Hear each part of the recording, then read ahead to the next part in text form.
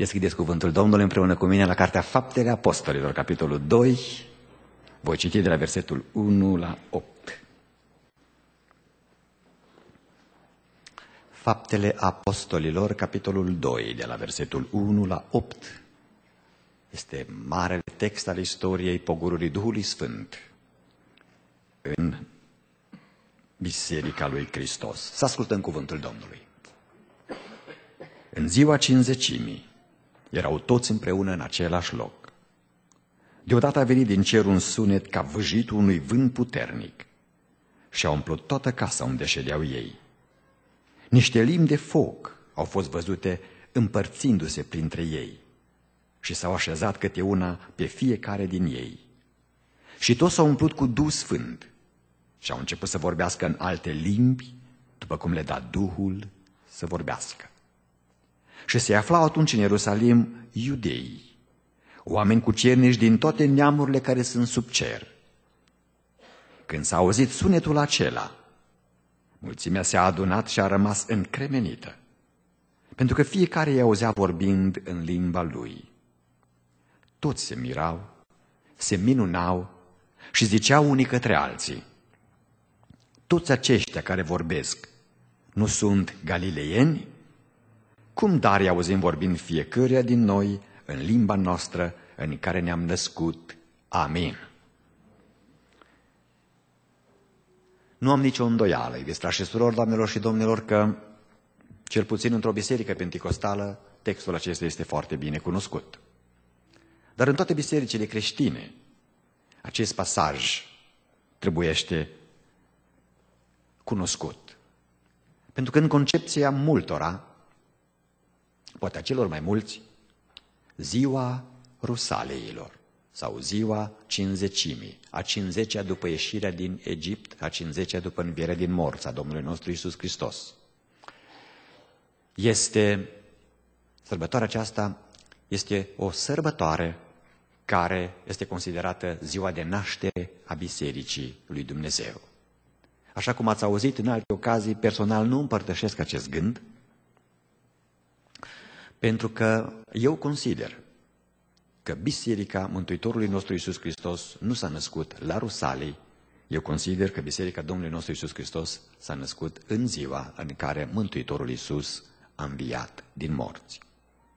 Argumentul pentru care am această poziție teologică, dacă vreți, este acesta. Rusalii sau coborârea Duhului Sfânt, Rusalii fiind o terminologie latină românizată, pentru că sărbătoarea s-a întâmplat să coincide cu o sărbătoare în Imperiul Roman numită sărbătoarea Rozalia, rozaliilor, a trandafirilor.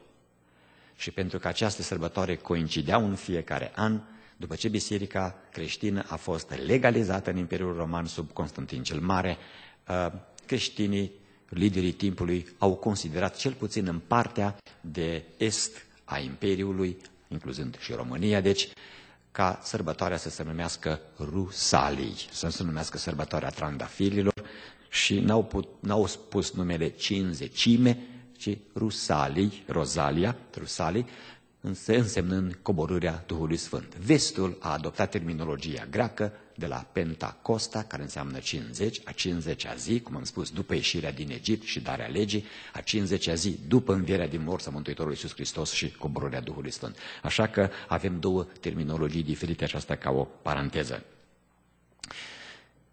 Eu cred că sărbătoarea Rusaleilor, frați și surori, doamnelor și domnilor, este o sărbătoare care vorbește despre un nou început. De ce? Pentru că aceasta este, acesta este principiul fundamental al teologiei creștine. 1 Corint, 2 Corinteni 5 cu 17. Dacă este cineva în Hristos, este o făptură nouă, o creație nouă, ceea ce Cornelescu traduce făptură înseamnă creație nouă. Și având în vedere următorii factori. Primul este, dacă vreți dumneavoastră, factorul antropologic. Biblia vorbește despre Dumnezeu în termeni antropomorfici, adică Dumnezeu are mână, Dumnezeu are cap, Dumnezeu suferă, Dumnezeu plânge. Nu este tipic lui Dumnezeu, dar ca să înțelegi tu și cu mine mai bine despre Dumnezeu, de aceea spune brațul Domnului, piciorul Domnului, mâna Domnului, asta nu semnează că Domnul nu are mâini sau nu are picioare. Însă se, asta se numește în termeni tehnici o vorbire antropomorfică. Deci dându-i lui Dumnezeu atribute omenești, ca tu și cu mine să-L înțelegem mai bine. În, această, în acest argument antropologic și antropomorfic, în Sfânta Scriptură este spus așa, biserica este trupul lui Hristos. Sigur că este trupul spiritual. Întotdeauna un trup are trup și cap. Întotdeauna. Un trup și cap. Eu consider, eu consider că dacă Hristos Domnul a înviat din morți capul bisericii, capul nu este niciodată lipsit de trup. Și de aceea consider că nașterea Bisericii lui Hristos nu s-a produs la Rusalii, ci nașterea Bisericii lui Hristos s-a produs în ziua în care Iisus Hristos a înviat din morți. Și în ce moment? Aduceți-vă aminte de acest text glorios din Ioan, capitolul 20, versetele 19 la 22. Aici este o repetare a zilei creației, însă într-o dimensiune nouă, într-o dimensiune specială. Este, zice, în seara aceleiași zile, cea din tâia săptămânii, când Isus a înviat din morți, în aceeași seară, El s-a arătat apostolilor săi. Și când s-a arătat apostolilor săi, uitați ce spune cuvântul Domnului. Versetul 22, vă rog să-l puneți și pe ecran. După aceste vorbe, a suflat peste ei și le-a zis, luați Duh Sfânt. Versetul 22. Deci, după aceste vorbe, spune, a suflat peste ei și le-a zis, luați Duh Sfânt. Ce însemnează aceasta? Aceasta însemnează o repetare a creației la un nivel special, pe o treaptă special. În ziua creației, și mai special și particular în ziua creației omului, Dumnezeu a luat pământ, lut, țărână și le-a frământat. Exact așa cum se aude, pentru că omul nu este rezultatul cuvântului lui Dumnezeu să fie om, ci omul este rezultatul implicării directe a lui Dumnezeu în crearea lui. A luat pământ, spune Sfânta Scriptură, și l-a frământat. Și din frământătura aceasta, din lut, Dumnezeu a făcut cel mai frumos chip de om. Pentru că Dumnezeul nostru este arhitectul cosmosului. Așa că a știut să facă un chip de om din lut de o frumusețe extraordinară. Adam. Însă, fiindcă era lut, chipul acesta, sculptura aceasta, dacă vreți, frământătura aceasta era fără viață. Era fără viață. Și atunci cuvântul Domnului spune că Dumnezeu s-a uitat peste această frământătură fără viață și ce a făcut? Spune, a suflat în nările lui suflare de viață. Ceea ce este tradus de Cornilescu suflare de viață este de la ebraicul ruach, care însemnează duh de viață. Și duh de viață este Duhul Sfânt al lui Dumnezeu. În momentul când Duhul Sfânt, care a intrat în Adam, a făcut contact cu lutul acesta inert, mort, rezultatul contactului a fost lumină, viață. Adam a devenit un suflet viu. Exact așa cum, uitați-vă la becul acesta din stânga mea. Avem becul acolo și de acolo deasupra. Avem becul acela ca să înțelegeți bine exact ce se întâmplă. Dacă este stinsă lumina, becul acela funcționează ca un trup Adam mort. În momentul în care curentul, simbolic, Duhul Sfânt, trimis, este trimis în becul acela, așa, care este rezultatul acestui contact? Este lumina. Este lumina. Așa este viața. Rezultatul contactului dintre Duhul lui Dumnezeu și trupul mort, becul, este lumina, este sufletul, este viața. Adam a devenit un suflet viu.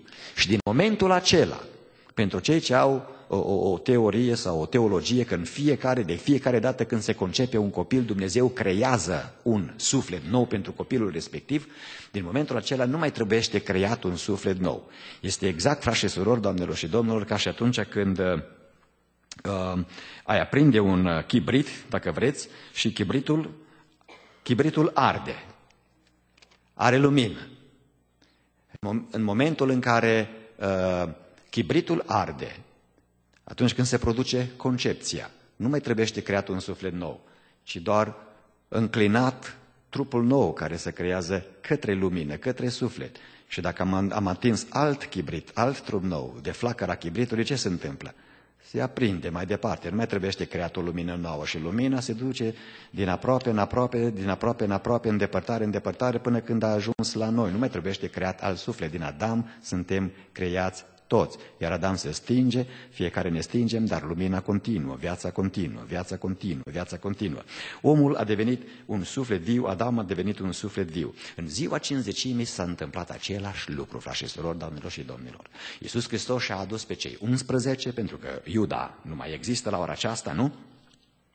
I-a adunat în uh, camera aceea specială unde ei erau, de fapt el s-a dus la ei și cuvântul Domnului spune că ce a făcut? ca și în ziua creației, peste această grupare mică de 11 oameni fricoși, temători, oameni fără viață în ei, fără putere în ei, pentru că Mântuitorul lor a fost omorât și încă nu știau ce s-a întâmplat. Peste această grupare mică, Iisus Hristos a făcut exact ce a făcut în grădina Edenului. Și s-a născut biserica. Capul și-a primit trupul. Legătura dintre Hristos și biserică s-a realizat în momentul acela. 40 de zile mai târziu la Rusalii, când Duhul Sfânt s-a coborât. 40 de zile mai târziu la Rusalii, când Duhul Sfânt s-a coborât, n-a făcut altceva Iisus Hristos, n-a făcut altceva Tatăl Ceresc, n-a făcut altceva Dumnezeu decât ceea ce se întâmplă de fapt cu un copilaj. Un copil nou născut este prezentat înaintea Domnului și este prezentat înaintea Domnului pentru ca Dumnezeu să-și pună numele peste copilul acela, să-i dea binecuvântarea și să-i dea puterea vieții. La 40 de zile, în ziua 50 Biserica lui Hristos a fost prezentată înaintea Domnului de către Domnul nostru Isus Hristos într-un act special, act sfânt numit botezul cu Duhul Sfânt. Și de atunci încoace, Biserica continuă cu putere până în zilele noastre, slăvit să fie Domnul. Acest fenomen se întâmplă, deci, în ziua Rusaliilor. Și acum Fiind Rusalii, fiind coborârea Duhului Sfânt, trei, patru lucruri pe care aș dori să le împărtășesc cu dumneavoastră în cadrul unui mesaj scurt pe care l-am intitulat De ziua cinzecimii. De ziua cinzecimii. Ce se întâmplă, deci, în această zi? La ce asistăm în această zi? Care este fenomenul acestei zile? care este continuitatea acestei zile. Primul fenomen, primul lucru la care asistăm când s-a coborât Duhul Sfânt, pentru prima dată. Și de atunci încolo înțelegem că fenomenul acesta uh, vorbește continuu despre acest mare subiect. Primul lucru care se întâmplă, frașesorilor, doamnelor și domnilor, este că dacă Iisus Hristos este viu. Deci dovada botezului cu Duhul Sfânt vorbește că Mântuitorul nostru Iisus Hristos este viu. El nu putea să trimită Duhul Sfânt după ce murea pe calvar, așa, și dacă ar fi rămas în mormânt, așa cum a fost acuzat și cum s-a vorbit că el n-a înviat din morți, cum s-au răspândit zvonuri despre el, minciuni despre el, pentru ca să se nege această lucrare a învierii lui din morți și se face și în zilele noastre. El a spus în Ioan, capitolul 7, 37 la 39, dacă crede cineva în mine, a spus, din, râu, din inima lui vor curge râuri de apă vie. Și Domnul Iisus Hristos spunea, vorbea lucrul acesta despre Duhul Sfânt, pe care încă nu-l trimisese pentru că Iisus Hristos nu fusese proslăvit. Proslăvirea lui însemna să fie răstignit, să moară și să învieze din morți și apoi să se așeze la dreapta Tatălui. Dovada că Duhul Sfânt s-a coborât peste acești 11, 120 acum, pentru că erau mai mulți cu ei în camera de sus, în textul care am citit, este că Iisus Hristos, Mântuitorul, Cel ce botează cu Duhul Sfânt, este un Mântuitor viu. Un Mântuitor viu. Și este o analogie în Vechiul Testament. Și această analogie o cunoașteți, vă aduc aminte de ea, este următoarea. În Vechiul Testament, unul din personalitățile care îl reprezintă pe Iisus Hristos este Marele Preot. Iisus Hristos este pentru noi, la ora aceasta, mare preot în templul din ceruri, în Sfânta Sfintelor, unde ne prezintă înaintea lui Dumnezeu. Evrei 4 cu 15 și 16 tocmai spune acest lucru. uh, că Domnul ne înțelege în slăbiciunile noastre. Dar spune acolo, dar noi nu avem un mare preot care să nu aibă milă de slăbiciunile noastre. Ba încă avem unul exact ca noi, care a suferit ca noi, a fost ispitit ca noi, dar fără de păcat. De aceea, pentru că El a biruit, să ne apropiem cu încredere de tronul Harului, pentru ca să primim milă la vreme de necaz, la vreme de nevoie. Deci El este viu. Și uitați care era rânduiala în Vechiul Testament. În Vechiul Testament, Marele Preot avea datoria în fața lui Dumnezeu și a poporului Israel să intre în Sfânta Sfintelor o dată pe an, o singură dată pe an, în ceea ce se numea sărbătoarea ispășirii.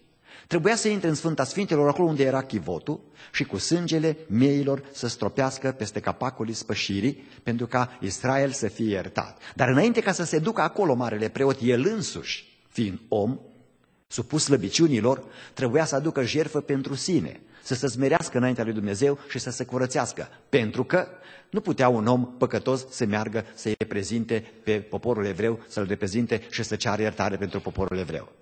Și de aceea se luau măsuri speciale. Și anume care era măsura?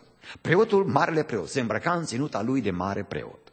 Și peste ținuta de mare preot îmbrăca o tunică, un halat, un capot, sau dacă vreți, un palton, dintr-o tăsătură specială, cu aur și cu fire alese, la poala cărei îmbrăcăminți erau pus niște clopoței de aur. Aveau un rol special. Și după ce îl îmbrăca cu această uh, tunică, cu clopoței de aur, marele preot era legat de picior cu o frânghie. De ce? Pentru că intrând în Sfânta Sfintelor, unde numai el avea dreptul să intre o dată pe an, din pricina sfințeniei locului, dacă el nu s-a pregătit ca să meargă în fața lui Dumnezeu și să reprezinte poporul ca să le spășească de păcate din anul respectiv, Dumnezeu în mânia lui putea să o lovească cu moarte pe marele preot. Și atunci nimeni nu avea voie să meargă să-l scoată de acolo. Era legat de picior pentru că atunci când s-ar fi întâmplat lucrul acesta, ceilalți leviți, ceilalți preoți să poată să-l tragă încet din Sfânta Sfintelor, să-l scoată afară, să-l îngroape, ca să nu putrezească și să spurce uh, locașul sfânt al lui Dumnezeu, templu sau cortul întâlnirii. Unul din elementele speciale pe care cei ce așteptau să vadă ce face Marele Preot acolo în Sfânta Sfintelor era acesta. Când el se mișca, când el se mișca, ce se auzea? Clopoței. Și da, e viu. Încă e viu. Încă face ispășire. Încă face stropire. Nu l-a lovit Dumnezeu în mânia lui. S-a sfințit. Este sfânt. Și noi vom fi iertați. Pentru că preotul se mișca în continuu. Se mișca. Asta era semnul. Pentru ca cei de afară care țineau frânghia de la piciorul lui să știe ce se întâmplă în momentul următor. Ia uitați-vă acum. Iisus Hristos a intrat în Sfânta Sfintelor. Și a început să se miște.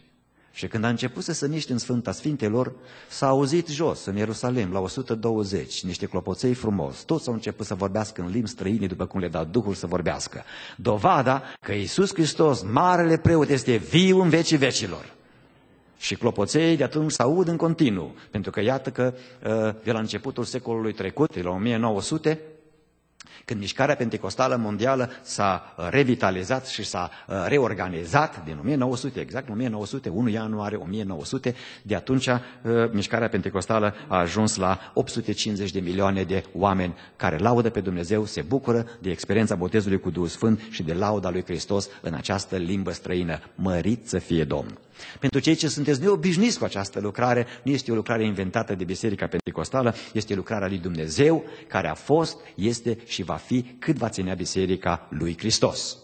Al doilea lucru pe care trebuie să-l vedem este vorbirea în limbi propriu-zise.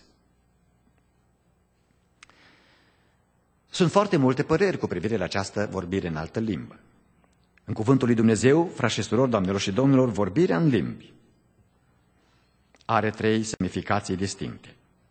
Și aș vrea să vă uitați și să ne uităm pe scurt la ele. Pentru că neînțelegând această semnificație biblică, atunci avem tot felul de teorii în bisericile noastre, uneori chiar războaie sfinte, legate de vorbirea în altă limbă.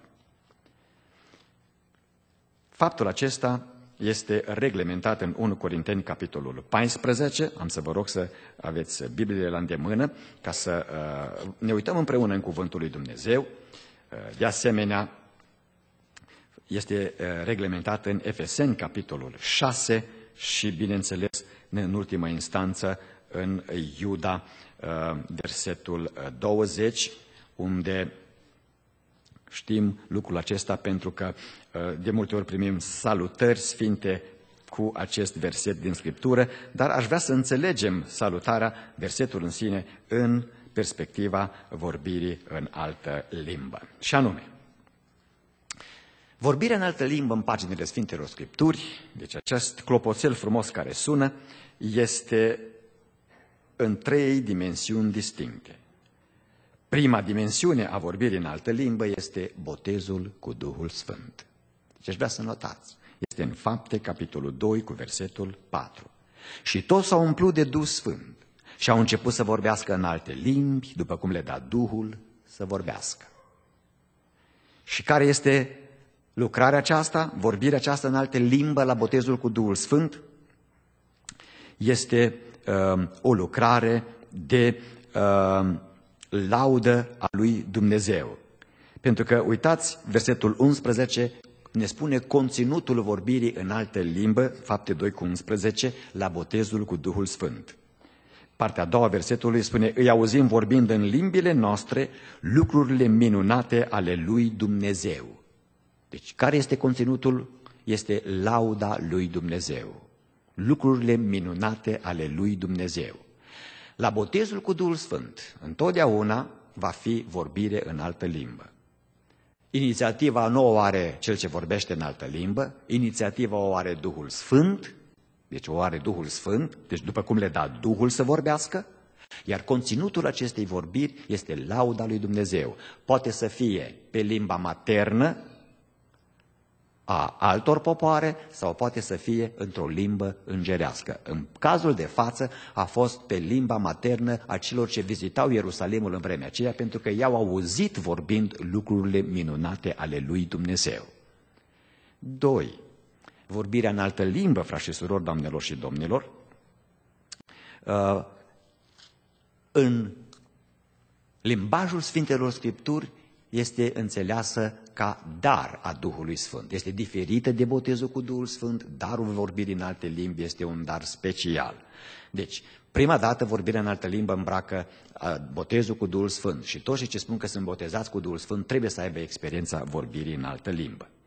Repet încă o dată, inițiativa de a vorbi nouă are cel ce este botezat, inițiativa o are Duhul Sfânt, după cum da Duhul să vorbească, conținutul este lauda lui Dumnezeu, fie în limba maternă, fie într-o limbă străină, îngerească sau omenească. 2. Vorbirea în altă limbă este diferită de botez de data aceasta, este darul vorbirii în alte limbi. Uitați-vă în 1 Corinteni, capitolul 12, cu versetul 10, spune, altuia felurite limbi. Deci altuia îi dă felurite limbi. Este darul vorbirii în alte limbi. Este darul vorbirii în alte limbi.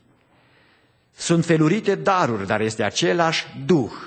Și versetul 7 spune din 1 Corinteni 12, și fiecăruia îi se dă arătarea Duhului spre folosul altuia. Aș vrea să notați următoarele lucruri. Când Domnul dă daruri din Duhul Sfânt, cele nouă care le vorbește Apostolul Pavel în 1 Corinteni 12, de la 1 la 11, când Domnul dă daruri, darurile nu le dă ca să-ți faci un nume cu ele, ori ca să fii cineva în Biserica lui Hristos, ci darul îl dă Duhul Sfânt după cum voiește El. Mă alege pe mine, te alege pe tine, nu trebuie neapărat ca cineva să, uh, să fie considerat profet sau Duhul Sfânt se folosește de oricare dintre mântuiți ca să opereze cu aceste daruri, după cum voiește Duhul Sfânt. Și se poate manifesta în foarte multe lucruri, da, în foarte multe feluri darul acesta. Fie prin cuvântul cunoștinței, se poate manifesta fie printr-un vis de noapte, se poate manifesta fie printr-o vedenie. Mi-aduc aminte, eram student la București și eram copii săraci, căsătoriți proaspet, într-una din zile m-a sunat soția și a zis, dragă, vreau să spun ceva foarte special. Și am zis eu, să-ți spun eu ce vrea să-mi spui. Vrei să spui că o să avem casă. Și a zis, da, dar cine ți-a spus? Mi-a spus Domnul asta noapte. Casa aceea care ne-a fost oferită nu-i pentru noi, casa aceea este o cursă. Pentru că această casă nu are temelie, se prăbușește. Dumnezeu mi-a arătat asta noapte într-un vis de noapte și nu ne trebuiește această ofertă. Și Și exact așa a fost. Dumnezeu are metodele lui, deci cum să folosească darul, multe modalități de a, a lucra. Aș putea să vă spun multe, multe exemple, dar nu ne permite nou timpul pentru exemple. Dar suntem la vorbirea în alte limbi ca dar, felurite limbi.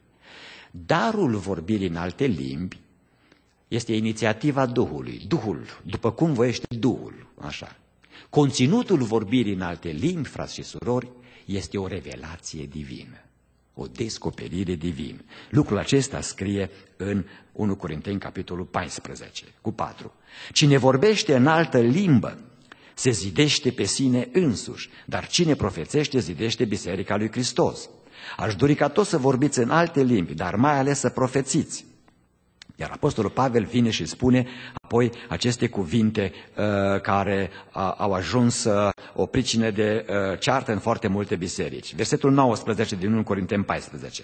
Dar în biserică voiesc mai bine să spun cinci cuvinte înțelese ca să învăț pe alții decât să spun zece mii de cuvinte în altă limbă. Și apoi în versetul 22. Prin urmare, limbile sunt un semn pentru, nu pentru cei credincioși, ci pentru cei necredincioși. Prorocia, din potrivă, este un semn nu pentru cei necredincioși, ci pentru cei credincioși. Și apoi Apostolul Pavel spune că uh, vorbirea aceasta în altă limbă se aseamănă cu profeția. Now, vorbirea în altă limbă este un, un dar care este reglementat în biserică. De ce? Deci când este darul vorbirii în alte limbi, avem în vedere o descoperire dumnezeiască.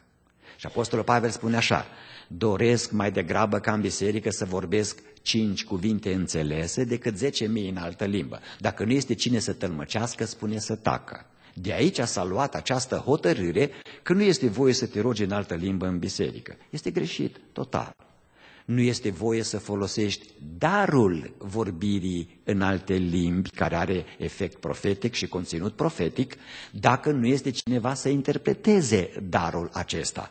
Pentru că Apostolul Pavel spune, uh, versetul 13, de aceea, cine vorbește în altă limbă, să se roage să aibă și darul să o tălmăcească, să o traducă. Atunci nu o folosi dacă uh, ai o revelație și nu comunici ce revelație ai de la Dumnezeu prin acea vorbire în altă limbă. Conținutul este descoperire de taină. Este planul lui Dumnezeu pentru cineva, este planul lui Dumnezeu pentru tine. Fiindcă dacă mă rog în altă limbă, Duhul meu se rogă, dar mintea mea este fără de rod. Și atunci, darul vorbirii în altă limbă Inițiativa are Duhul Sfânt, conținutul este o profeție, pentru că este egal cu profeția, trebuiește interpretat, iar în public darul acesta nu poate fi folosit dacă nu este tradus, dacă nu este interpretat. Acesta este reglementat. Nu botezul cu Duhul Sfânt, vorbire în altă limbă. Și de fapt mai există un al treilea aspect, un al treilea element al vorbirii în altă limbă. Este rugăciunea prin Duhul Sfânt. Asta este partea care nu cunosc bisericile evanghelice și nici chiar bisericile pentecostale nu știu exact ce însemnează despre rugăciunea prin Duhul Sfânt. Rugăciunea prin Duhul Sfânt este tot de la Duhul Sfânt, nu este de la oameni. Uitați-vă ce spune Efeseni 6 cu 18.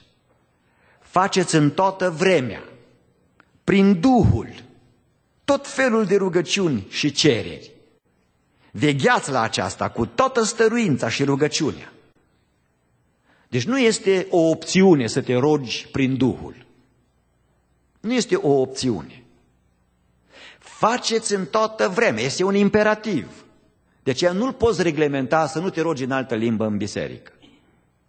Pentru că am să vă spun care este conținutul și care este secretul. Faceți în toată vremea prin Duhul tot felul de rugăciuni și cereri. Vegheați la aceasta. Apoi în Iuda 20. Dar voi, prea iubiților, prea iubiților, zidiți-vă sufletește pe credința voastră prea sfântă. Ce să faceți mai departe? Rugați-vă prin Duhul Sfânt. Suntem în Iuda 20. Ce să faceți? Rugați-vă prin Duhul Sfânt. Care este aspectul rugăciunii prin Duhul Sfânt, pe care foarte puțini o înțeleg. Rugăciunea prin Duhul Sfânt, frați și surori, doamnelor și domnilor, este o rugăciune supranaturală, dar fiți atenți aici, la care, spre deosebire de primele două, la botezul cu Duhul Sfânt, inițiativa o are Duhul, nu tu. La darul vorbirii în alte limbi, inițiativa o are Duhul, nu tu. Fiecare îi se dă arătarea Duhului. La rugăciunea prin Duhul Sfânt, inițiativa de a te ruga supranatural o ai tu, nu Duhul Sfânt. Iar Duhul Sfânt îți onorează inițiativa folosindu-te în această rugăciune. Inițiativa o am eu. Uitați ce spune Apostolul Pavel în 1 Corinteni 15. 14 cu 15. Ce este de făcut atunci? Mă voi ruga cu Duhul? Cine se rogă? Eu. Eu mă rog, nu Duhul cu mine, eu cu Duhul. Pentru că eu stau la dispoziția Duhului să mă rog. Și mă voi ruga și cu mintea. Voi cânta cu Duhul, dar voi cânta și cu mintea. Rugăciunea prin Duhul poate să fie în limbă străină și poate să fie în limbă maternă. Inițiativa o ai tu, iar însoțirea o are Duhul Sfânt. Deci nu Duhul Sfânt înainte, tu înainte. Ce voi face, dar mă voi ruga cu Duhul eu. Dar voi, prea iubiților, rugați-vă prin Duhul Sfânt. Dar voi, prea iubiților, zidiți-vă pe credința voastră prea sfântă. Faceți în toată vremea, prin Duhul, tot felul de rugăciuni. Care este conținutul rugăciunii prin Duhul? Conținutul este complex. Poate să fie o profeție, te rogi în limba ta maternă sau într-o limbă străină, deci ori în limba ta maternă, ori într-o limbă străină, conținutul, de exemplu, nu știu dacă ți s-a întâmplat vreodată să stai lângă cineva care se roagă lângă tine și la un moment dat ai auzit persoana aceasta că se roagă toată problema ta. Ți s-a întâmplat vreodată? Ați auzit lucrurile acestea? Biserică Pentecostală. Yes! Este rugăciune prin Duhul Sfânt. Pentru că ființa aceasta a intrat în părtășie cu Domnul, a fost de acord să se roage și să roagă prin Duhul Sfânt, vorbindu-ți toată problema ta, tot necazul tău. Sau poate să fie o vorbire supranaturală în, în altă limbă în care conținutul este laudă și glorificare a lui Dumnezeu. De aceea te poți ruga în public o oră, chiar dacă se deranjează 50.000 de oameni. Laudă-L pe Domnul, pentru că în Biblie scrie, dar voi, prea iubiților, rugați-vă prin Duhul Sfânt. Teologia aceasta trebuie să cunoscută corect și lucrul acesta a început de la Rusalii încoace. Și apoi, în al treilea rând și în ultimul rând, în această amiază, pentru că dacă va fi cu voia Domnului, vom continua în programul de seară. Ce este Rusalii? Ce este Rusalii? Am spus-o și nu-mi pare greu să spun din nou, pentru că suntem la sărbătoare, frați și surori, doamnelor și domnilor, Rusalii însemnează venirea imediată a Mântuitorului nostru Isus Hristos. Deci, sărbătoarea Rusalilor este sărbătoarea care vorbește despre a doua venire a Domnului nostru Isus Hristos. În celebra carte a lui Donald McGee, What meaneth this? Ce însemnează aceasta? El spune următorul lucru. Când prima dată Ați văzut, Domnul a vorbit în Scriptură și în biserică și în poporul lui de trei ori în limbi străini. Și fiți atent. Când prima dată asistăm la o vorbire în altă limbă străină, este în palatul lui Belșațar. Pe perete, în salonul în care el bea și chefuia și unde a vrut apoi să profaneze uneltele sfinte de la templul lui Solomon, pe care tatăl său Nebucadnețar le-a dus în robia babiloniană. A cerut paharele de aur de la templu să bea din ele.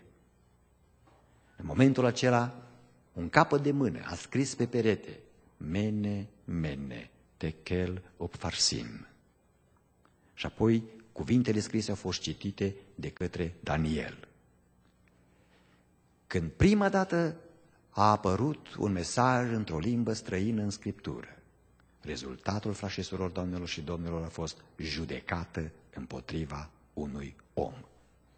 Daniel a spus, în noaptea aceasta, împărate, domnia va fi luată de la tine și tu vei dispărea cu imperiul tău cu tot. În noaptea aceea, Nebucanețar a murit. În ziua cinzecimii, în, ziua, în noaptea aceea Berșațar, mulțumesc, Berșațar a murit. În ziua cinzecimii, 120 de persoane sunt aici în fapte unde eu am citit. S-a coborât Duhul Sfânt, toți au început să vorbească în alte limbi.